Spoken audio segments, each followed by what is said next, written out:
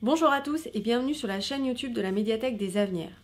Aujourd'hui, je vous propose un focus sur quelques séries que j'ai particulièrement aimées. Trois séries, trois univers différents. C'est parti. On commence avec Tchernobyl de Craig Mazin, sorti en 2019. En six épisodes d'une heure, la série nous raconte l'histoire vraie de la catastrophe de Tchernobyl, du moment de l'explosion jusqu'au procès des dirigeants alors en poste.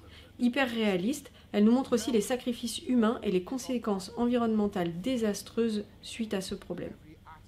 Le jeu d'acteur sombre et juste témoigne de la façon contestable dont les événements ont été traités.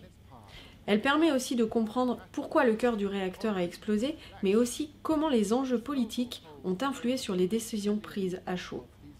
En ce début d'année, c'est une série qui a été multi-récompensée pour sa qualité et vraiment je vous invite à la regarder. Autre lieu, autre époque, on continue avec Peaky Blinders de Steven Knight qui est en cours depuis 2013. La série se passe à Birmingham dans les années 20 où la famille Shelby installe son pouvoir avec violence entre vol et jeu d'argent.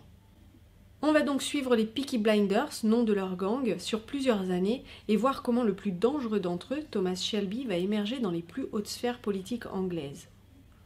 Il faut savoir que l'histoire est inspirée d'un gang ayant réellement existé et basée sur des faits réels.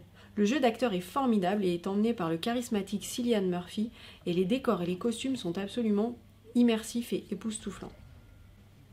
La bande originale, volontairement anachronique, tient un rôle à part entière dans le scénario et elle habille réellement le montage des épisodes.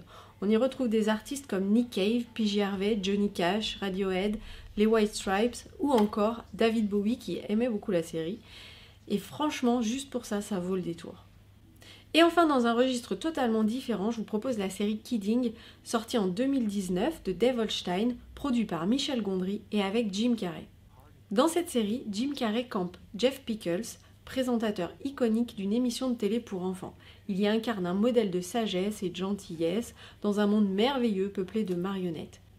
Mais la réalité est tout autre. Sa famille a explosé suite à la mort de son fils et il est au bord de la dépression. Son père et sa sœur, qui sont aussi les producteurs de l'émission, font tout pour éviter sa chute tout en composant eux-mêmes avec leur vie complètement chaotique. On retrouve là donc une comédie très noire où se mêlent bons sentiments, moments d'humour mais aussi douleurs palpables. Jim Carrey est excellent dans ce rôle entre rire et larmes et l'univers merveilleux de Michel Gondry tranche complètement avec la cruelle réalité, c'est à voir sans plus attendre. Voilà, tous ces DVD sont déjà disponibles à la réservation sur notre catalogue en ligne acv.bibanligne.fr.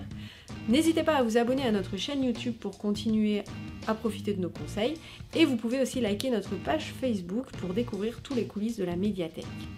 Je vous dis à très bientôt